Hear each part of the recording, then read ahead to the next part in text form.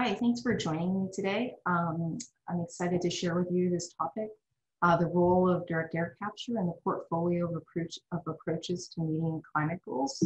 Um, and this first slide, what I'm going to do is try and get us all on the same page. And so what this is showing is annual emissions on the order of about 40 gigatons of CO2 per year. And you see two different trajectories. Uh, there's a business as usual trajectory, which is the yellow line at the top. Uh, and then there's also the trajectory that shows us reaching climate goals or achieving um, avoiding negative 2C warming by 2100. And this, you know, this work, in addition to a number of recent climate studies, um, including IPCC, uh, recent carbon removal studies coming out of uh, the Royal Society on greenhouse greenhouse gas removal, and also a recent study from the Academy of Sciences that was released in 2019, all discuss the fact that uh, deep decarbonization to achieving climate goals is no longer enough, and that we also need to be removing CO2 from the atmosphere as well. Uh, more specifically, uh, this is a conclusion from the study from the Academy of Sciences of Engineering, which I was a co-author on. Uh, and what we concluded from this study is that negative emissions on the order of about 10 gigatons of CO2 per year by mid-century, and then 20 gigatons of CO2 per year removal by century's end will be required uh, to meet climate goals. And again, this was a, a report that came out around the same time as a number of other reports, like the IPCC report um, for the one and a half degree scenario, and also a greenhouse gas removal report that came out of the Royal Society. And all reports are pretty consistent that negative emissions will have to play a significant role in addition to deep decarbonization in order to meet climate goals. Uh, so to just give you a little bit of an overview of the different approaches. And so showing here coastal blue carbon, um, accelerated chemical weathering of rocks. And so in its crust, uh, there's um, certain minerals that are rich in calcium and magnesium that readily react with CO2 from the atmosphere. So there's active research being done about how to accelerate the reactivity of CO2 with those, with those minerals in the earth. Um, direct air capture with chemicals. So I'm going to dive deeper into this topic and talk about this today. Um, but this is using reactive chemicals in order to selectively um, remove the reaction with CO2 in the atmosphere. And you can see here that it requires fans, it requires very high contact areas. Um, and then you can also see biomass energy uh, coupled to carbon capture and storage. When we looked at this in the of Sciences report, we considered only waste biomass uh, in terms of technical potential of this approach and the impact. Both with direct air capture and with biomass energy coupled to carbon capture uh, require a storage uh, in addition to the actual removal of CO2. So dedicated geologic storage of CO2. Here we give examples of sedimentary basins and also um, basalt formations deep in the earth. Uh, there's also afforestation and reforestation. Um, and then finally, soil carbon storage. So enhancing um, the storage of CO2 or carbon uh, in soils. So what is direct air capture? Again, it's, it's using chemicals to remove CO2 from the atmosphere.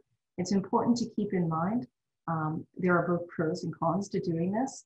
Capturing CO2 from the atmosphere provided that it's coupled with permanent storage of CO2, has the potential to be a negative emission strategy.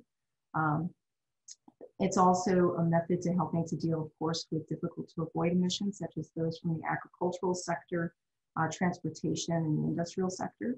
It does not require arable land. So when you're building these kinds of contactors, you don't have to worry about um, competing, for instance, with, with food and growing food. Uh, the cons are significant. The energy inputs are very high for doing this uh, due to the concentrations in the atmosphere being uh, you know, 100 to 300 times more dilute than they are from a power plant or a point source. The land footprint is still pretty significant. Um, it can be large and it also depends on what type of energy you're coupling to it. Um, one thing I'll mention is, is that there's a common misconception of the water needs for this system. There are multiple technologies out there for direct air capture. We'll talk about a couple here today. One does require water, but another one is a net producer of water. So depending on what technology you use for direct air capture, not all have uh, water requirements. And then this is just taking a little bit of a closer look at the energy, a little bit technical, uh, combines the first and second laws of thermodynamics to just show that you can calculate the minimum energy or the minimum work required to do a separation. And all this is showing is if you notice along the x-axis, as you move from right to left, you're getting to gas mixtures that are more and more dilute in CO2. So we go from point sources all the way to the atmosphere. And then what you find is that as you get to systems that are more and more dilute, the minimum thermodynamic work for separation significantly increases. And so what we can say here is that roughly speaking, from a minimum work perspective, um, so the best that you could possibly do, it's still going to be three times more energy intensive to capture CO2 from air compared to point sources.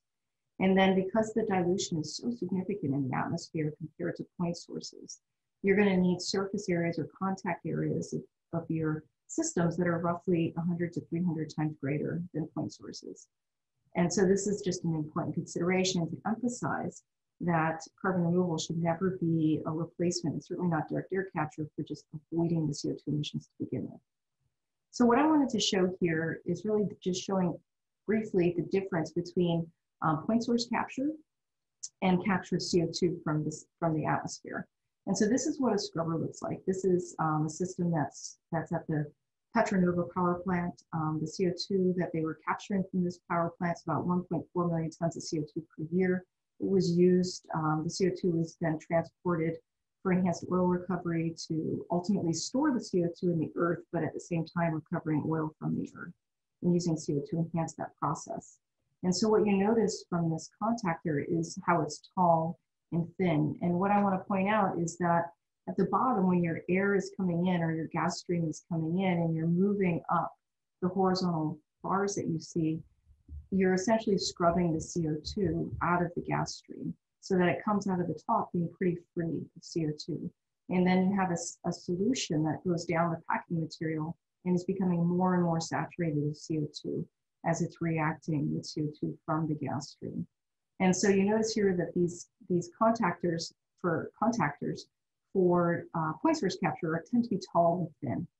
But when you look at the atmosphere, because it's so dilute, the CO2, in order to capture the equivalent CO2, you need a lot of these very large um, contact area, cross-sectional area contactors. To capture a million tons of CO2 per year, you need 10 of these units compared to the single unit that you saw in the previous slide. Um, what you also notice about this contactor is the depth. And so that depth um, is actually pretty, pretty thin comparison to, compared to the tall tower that you saw previously. And that's because it takes power and energy in order to push the air through. So the thinner that bed, the less CO2 you capture, but also the less energy you spend on fan power. And so from, from point sources, you, you scrub a lot more CO2 where these are optimized and don't capture as much of the CO2 from the air. Uh, the two different leading technologies today are based on liquid solvents where you have a structured packing material that goes inside. And then the second type of material is a, a solid sorbent material where you have these honeycomb structures that look pretty similar to um, the con or look pretty similar to the catalytic converter in the automobile.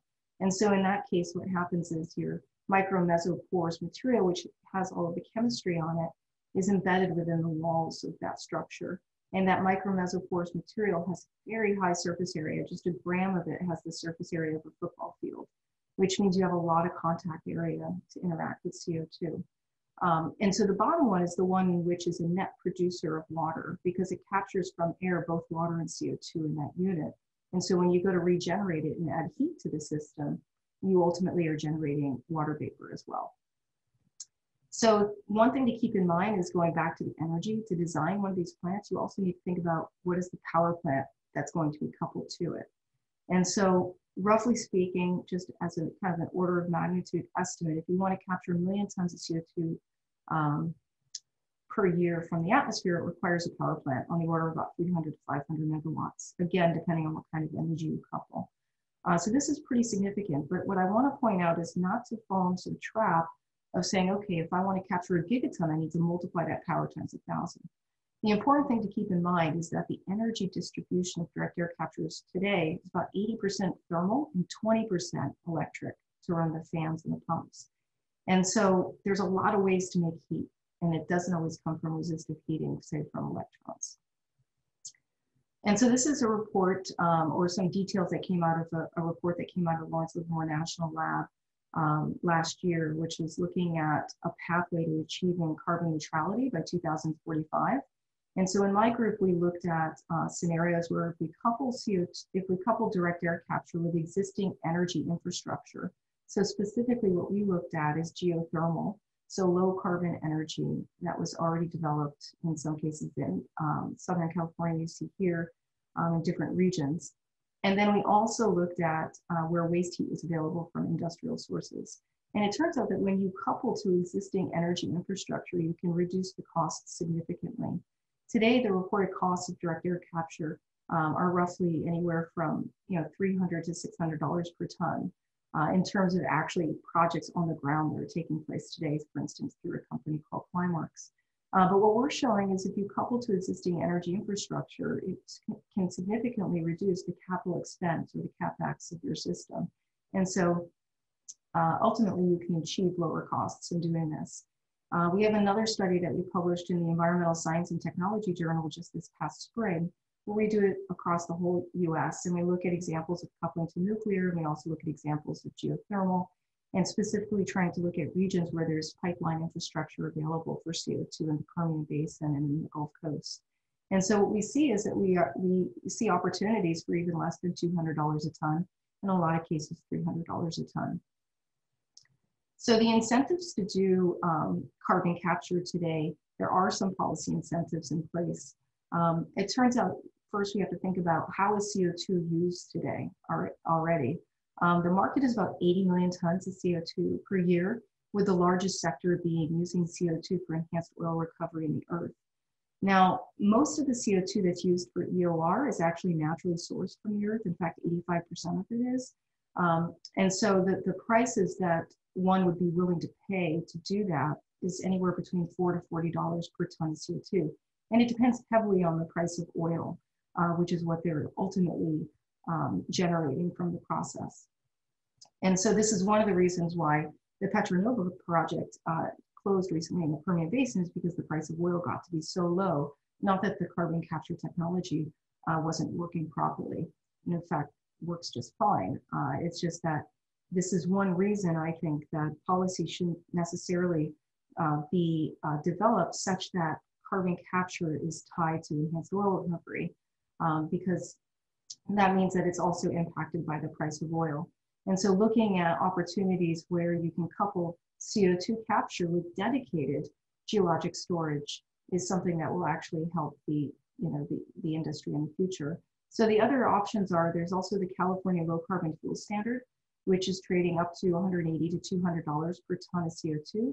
And direct air capture qualifies for that. So that has to do with the fact that the transportation sector is very difficult um, to avoid emissions from. And so if you build a power plant anywhere in the United States that, or if you build a direct air capture plant anywhere in the United States and you permanently remove the CO2 from the atmosphere through dedicated storage, you can earn that credit for the state of California.